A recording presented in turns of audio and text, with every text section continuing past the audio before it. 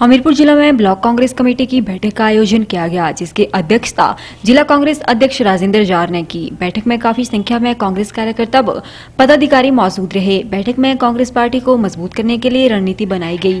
बैठक में पाँचों विधानसभा क्षेत्रों में बूथ स्तर पर कमेटी का गठन तीस अप्रैल तक हो जाना चाहिए। इसके लिए कार्यकर्ताओं को निर्देश दिए गए। बैठक में निर्णय लिया गया कि हमीरपुर कांग्रेस पार्टी के कार्यकर्ता व नेता प्रदेश में होने वाले नगर निगम चुनावों में चुनाव प्रचार के लिए मैदान में जाएँगे। जिला अध्यक्ष राजेंद्र जार ने बताया कि जिस कार्यकर्ता के लिए जो स्थान नज़दीक पड़ता हो वे वहाँ चुनाव प्रचार में जा सकते हैं। उन्होंने बताया कि हमीरपुर जिला के कांग्रेस कार्यकर्ताओं को धर्मशाला पालमपुर नज़दीक पड़ते हैं तो वे वहाँ पर चुनाव प्रचार के लिए जाएँगे। और इसका एजेंडा मुख्य तौर पर ऑर्गेनाइजेशन को किस तरह से मज़बूत करना है, उसके बारे में था। एक तो जो बूथ कमेटियाँ हमने पाँच विधानसभा क्षेत्रों में बनानी है। उसके लिए हमने टारगेट दे डेट दे दी है तीस अप्रैल तक सभी पाँच पाँच के पाँच विधानसभा क्षेत्रों में इन बूथ कमेटियों का गठन हो जाना चाहिए। ये एक तो मेन एजेंडा ये भी था। इसके साथ जो मीटिंगों का दौर है वो हर महीने होना चाहिए। चाहे जिला स्तर पर हो, चाहे ब्लॉक स्तर पर हो, हर महीने मीटिंग होना लाजमी है। और मोरोवर अब,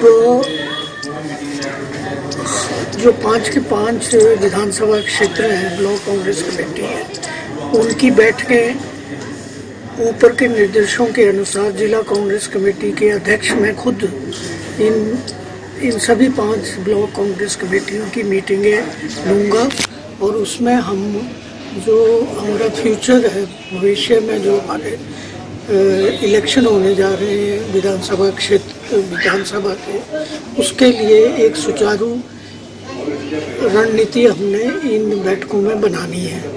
और इन बैठकों में जो हमारे पदाधिकारी हैं और जो हमारे कार्यकर्ता हैं, उनको ड्यूटियाँ बांटनी है। और वो अपने अपने क्षेत्रों में कांग्रेस की मजबूती के लिए काम करें। आज का अहम पॉइंट ये था कि जो आज ये इलेक्शन हो रहे हैं, चार म्यूनसिपल कॉरपोरेशन के, उनमें हमारे कार्यकर्ता जहाँ उनको सूट करता है, वहाँ वो भाग लेंगे। जैसे यहाँ के कार्यकर्ताओं को ज़्यादातर सूट करता है धर्मशाला और पालमपुर। या फिर कुछ जो जाओ का इलाका है, वहाँ के कार्यकर्ताओं को मंडी सूट करता है। तो हमारे कार्यकर्ता इनमें तीन जो भी ये हमारे म्यूनसिपल कॉरपोरेशन के इलेक्शन हो रहे हैं।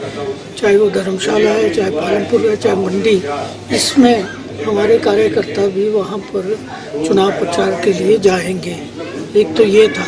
बाकी जो भाजपा की जन विरोधी नीतियाँ हैं और ख़ास करके जो किसानों के विरुद्ध भाजपा का स्टैंड रहा है, भाजपा सरकार का स्टैंड रहा है, उसके बारे में एक हमने तय किया है, जो ऊपर से निर्देश आए हैं कि हम जिला स्तर पर भी और ब्लॉक स्तर पर भी शीघ्र ही जनसंपर्क अभियान छेड़ेंगे और उसके साथ साथ पदयात्रा भी करेंगे। उसके माध्यम से हम घर घर जाकर लोगों को इस सरकार की जन विरोधी नीतियाँ और इसकी नाकामियाँ घर घर तक उसकी सच्चाई को पहुँचाएँगे जो कि जिस ढंग से ये सरकार प्रमित कर रही है, चाहे वो केंद्र की सरकार है, चाहे प्रदेश की सरकार है, उस भ्रम को हम दूर करने की कोशिश करेंगे। और लोगों में एक विश्वास पैदा करेंगे कांग्रेस पार्टी के लिए, ताकि वो